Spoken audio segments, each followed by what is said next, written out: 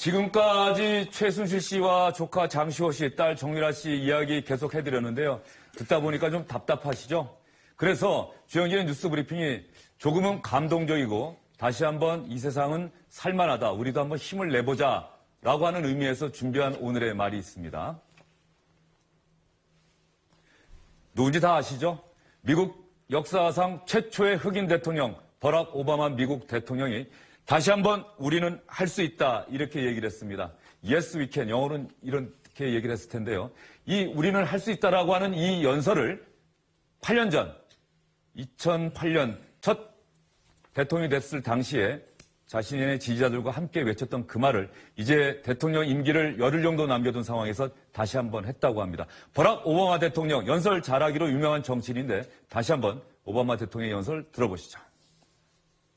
Tonight, tonight it's my turn to say thanks.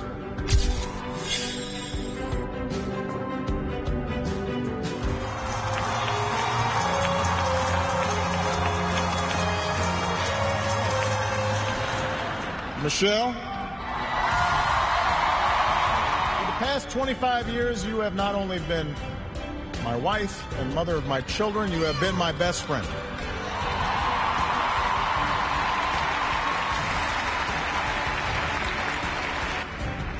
My fellow Americans. It has been the honor of my life to serve you. I am asking you to believe, not in my ability to bring about change, but in yours. Yes, we can. Yes, we did. Yes, we can. Thank you. God bless you. May God continue to bless.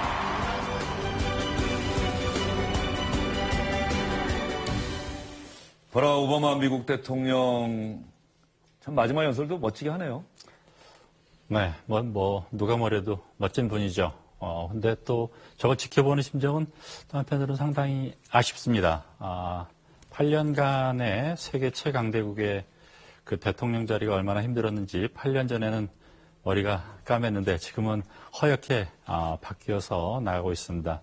그가 보여준 어떤 철학, 가치, 어, 인간과 세계에 대한 입장 이런 것들이 계속 이어졌으면 좋, 좋을 뻔했는데 어, 불행하게도 뭐 후임자가 같은 정치 철학이나 정치적 태도를 갖고 있는 어, 사람이 아니어서 조금 더 아쉬움을 남기지 않나. 그렇지만 뭐 마지막 그 말처럼 어, 재임 시에 그가 추진하고 보여줬던 것들을 이제는 어, 미국 국민 그리고 그 가치를 지지했던 세계인들이 함께 만들어가야 하는 그런 시기가 아닌가 그렇게 생각했습니다.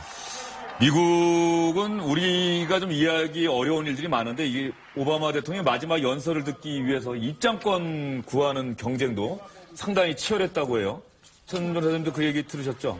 네, 원래 입장권은 무료로 배포된 건데요.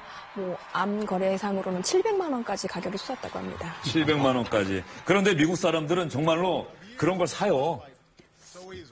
예, 제가 현지에서 그 특파원 할 때도 보면 우리로서는 아이 뭐 그냥 텔레비전 텔레비전으로 보지 그러는데 정말로 현장에 가서 보는 걸 대단히 중시하는 것 같은데 시카고에서 이 마지막 연설했다.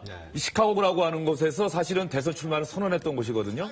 그 인, 인관 기자가 보기에도 오바마 대통령한테는 정말로 상징적이고 의미 있는 장소겠죠? 그렇죠. 오바마는 사실 고향은 하와이죠. 그런데 시카고는 정치적인 고향이다라고 말할 수 있습니다.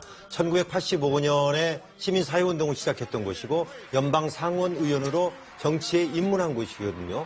그리고 아까 말씀했듯이 2008년에 첫 당선되고 나서 첫 연설을 여기서 했고 12년에도 또 거기서 했거든요. 근데 오늘 또 오바마는 왜 여기를 선택했냐 하는 것이 나는 미셸을 여기서 만났고 우리의 가족들이 시작된 곳이 이곳이다. 그래서 굉장히 시카고에 대해서 강한 의미를 뒀습니다. 그래서 시카고에 대해서는 아, 마치 진짜 친고향보다도 훨씬 더 가까운 곳이 오바마에게는 정치적인 고향뿐만 아니라 마음의 고향이 아닌가 싶습니다. 네, 저희가 이렇게 오바마 대통령의 마지막 연설에 대해서 계속 얘기하고 있는데요. 저희 얘기보다는 오바마 미국 대통령의 연설 한번 직접 들어보시는 게 좋으시겠죠? 저희가 다시 한번 들려드리겠습니다. And every day I have learned from you. You made me a better president. And you made me a better man. So I first came to Chicago when I was in my early 20s. Now, this is where I learned that change only happens when ordinary people get involved and they get engaged and they come together to demand it. That's what you did. You were the change. You answered people's hopes. And because of you, by almost every measure, America is a better, stronger place than it was when we started. I won't stop. In fact, I will be right there with you as a citizen for all my remaining days. 보통 사람들이 참여하고 관심을 가지고 요구할 때만 변화가 이루어진다는 사실을 깨달았다. 국민 여러분, 당신들이야말로 바로 변화 그 자체다. 오바마가 이야기하니까는 더 메시지가 잘 들어오는 것 같은 이 느낌은 뭐죠? 아, 그 오바마는 미국에서도 워낙 뭐 말 잘하는 서양인들 가운데서도 부인 미셸과 함께 말을 상당히 잘하는. 근데 그 말이 단순히 내용만이 아니라 사실은 미셸과 오바마 자체가 그 미국 사회의 아웃사이더로서의 절박한 경험을, 깊은 경험을 갖고 있는 사람들이거든요. 그래서 그런 본인들의 경험에서 나오는 어떤 세상이 나아지리라는 그런 믿음. 왜냐하면 오바마 자신이 흑인으로서 세계 최강대국의 또 백인들이 세운 나라의 대통령이 되었다는 실제 증거이기 때문에 그, 그 믿음과 그, 그 희망이 저 발언 안에는 거대한 그 밑바탕으로서 존재하고 있는 거죠. 그래서 우리가 그의 그 어, 연설을 들을 때는 어, 그런 드러나지 않은 그런 배경까지를 함께 느끼기 때문에 더욱 감동적이 아닌가 그렇게 생각합니다. 오바마 연설 들어보니까 이기성 기자 좀 짧게 좀 대답 부탁드릴게요. 예. 민간인이 연설문, 대통령 연설문 수정한다는 게 미국 오바마한테는 가능하지 않은 일인 것 같아요. 아, 당연하죠. 그, 뭐, 자주 보면 알겠지만은 뭐, 사무실, 집무실에도 그렇고, 어, 대통령 전용기관에서도 연설문을 같이 고치기 위해서 보좌진과 협의하는 것도 있고요. 한 보좌진이 이렇게 얘기했습니다. 우리가 열심히 고- 고치고 고치고 초고를 고쳐가지고 해골처럼 됐는데 이 해골에 숨결을 불어 넣어주는 것이 오바마 대통령이었다. 그러니까 전체적인 어떤 내용을 들어갈지 또 어떤 저 철학을 담을지 전체적인 키를 갖다가 오바마 대통령이 갖고 가는 거죠. 이번에 9월 연설문도 지난해 12월 하와이 갔을 때부터 시작을 해가지고 어제까지 하루 전까지 네 번이나 퇴고를 했다는 거 아닙니까? 예. 우리로서는 상상할 수 없는 대통령이 직접 원고를 예. 작성하고 예. 끊임없이 바꿨다.